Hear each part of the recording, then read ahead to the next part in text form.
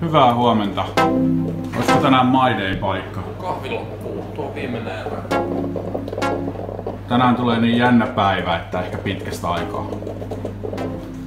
Tässä on meidän keittiö.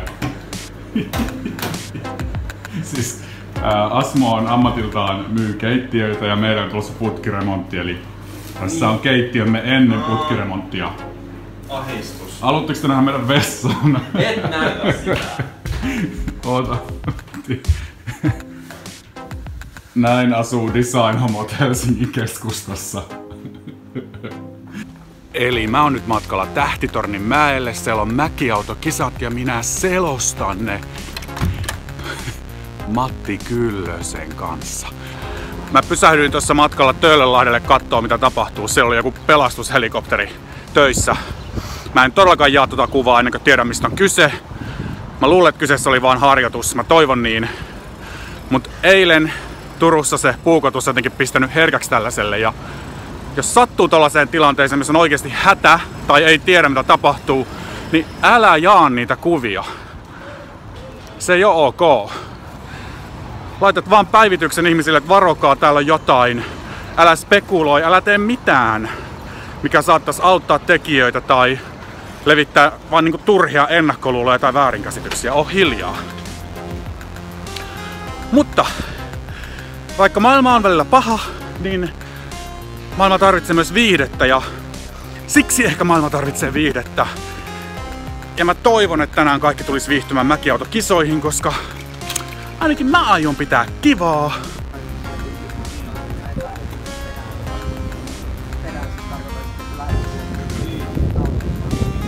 No nyt mä lopulta oon täällä legendaarisen Matti Kyllösen kanssa. Sano hei! Hyvä Mikko, hei hei kaikille. Eli tää selostamo on itse asiassa rekan nuppi. Jos meitä alkaa väsyttää, niin tänne voi mennä nukkumaan ja näin. Ja onko tää niinku tavallista, että selostamot on rekan Ei, nupeissa? mulle on ihan ensimmäistä kertaa, Onko? että ikinä koskaan selosta missään rekan nupissa. Mut ihan nastaa. Joo joo, ihan jännää, ihan jännää, ei tässä mitään. Mutta siis, mehän ei siis nähdä oikeasti tonne radalle.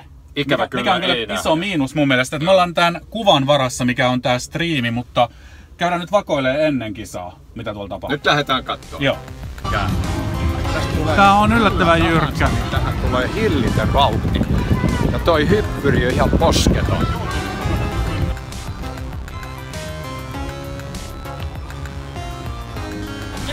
Täällä varikkoalueella on tunnelma jo hyvin tällainen karnevaalihenkinen. Ketään ei tunnu vaivaavan taas sade. Moi! Moi, onks teidän autoja katsastettu? Eilen, eilen illalla. Menikö läpi? Heittämällä. Mites ilmanpaineet? Meillä on kompressori täällä mukana. Täällä on tällainen ihmissyöjä pata, vai mikä tää on? No. Ei saada. Ei saada. Vartti alkuun mä vähän stressasin tossa, että, että ehditäänkö me sinne selostamoon, mutta isähahmoni Ehditään. oli sitä mieltä, että ei mitään hätää. niin kuin me ollaan siellä ihan kohta. Selostaja Nixit. Kahvia pitää olla. Tällä Yksi lähtee konitsi. koneet liikkeelle. ei millään ei saa koneita muuten kuin kahvia munkki. Tuossa meidän selostamon viereisessä kirkossa on alkamassa häät tasan samaan aikaan. Nämä tyypit kävelee häihin. Maailmalla erittäin suuren suosion saanut mäkiautokilpailu tapahtumaan rantautunut nyt jo neljättä kertaa Helsinkiin. Erinomaisen mukavaa päivää teille kaikille ja tervetuloa mukaan mäkiautojen ihmeelliseen maailmaan! Ja siellä vedetään vaipat jalkaan. Onko tässä niin pitkä matka, että saattaa tulla pissahätä? Niin kuin astronauteille voi vaippaan tehdä tarpeensa. Nyt ollaan Helsingissä ja tiimin nimi on Oravan pesä, joka nähdään seuraavana. Oi mikä vehje! Ja nyt kun tämä on pitkä, niin jännittää heti tämä ensimmäinen kynnys. Jääkö mahastaan kiinni? Tuossa on matto alkanut jo repertyä Oi, tuossa kynnyksessä. Siellähän on kaikki hauet ja muut vispilät mukana. Ja nyt Kyllä, sitten... kyllä kovalla vauhdilla, muuten tässäkin työnnetään liikkeen. Ai tärise. Oi, oi, ai, oi. ai kamala. Hyvin meni tuo paikka. Meneekö seuraavakin paikka vielä hyvin? Mitä? Oi, Ai, oi, oi. ai lähti Pamelan perään. Kaikki sanoi, että hyvin meni selostus, mutta koska en ole itse nähnyt mitään, niin en tiedä. Se on aina sellaisen suoran lähetyksen jälkeen, mutta sen mä voin sanoa, että Matti Kyllönen on mahtava. tekisin ihan minkä tahansa selostuksen hänen kanssaan uudestaan. Jotenkin puhetta vaan tulee, jaksaa aina innostua uudestaan. Oli valmistautunut tosi hyvin ja auttoi mua kaikessa. Että tota, oli hauskaa.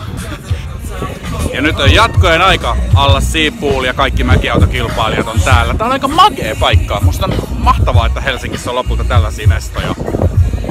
Tuntuu vähän Berliiniltä, mutta paremmalta.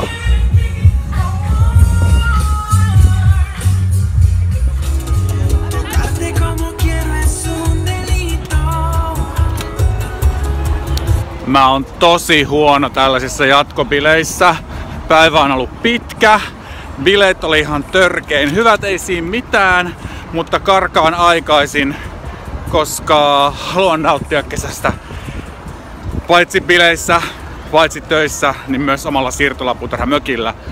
Ja kun on vielä valoista, niin lähden sinne, koska se on kesällä paras paikka.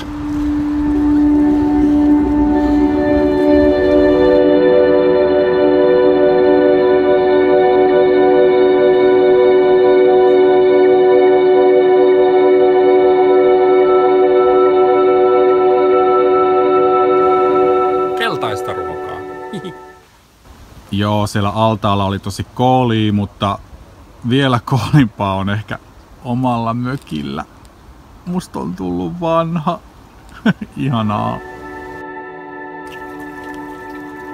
Meidän lemmikit.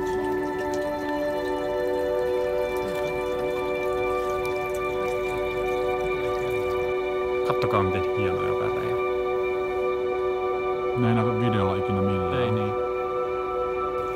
Hyvää yötä ja kiitos kun katsoit mun maiteen loppuun saakka. Ensi videoon kommentteja alle kiitos ja nähdään. Sillä välin muista rakastaa itseäsi. Moi moi!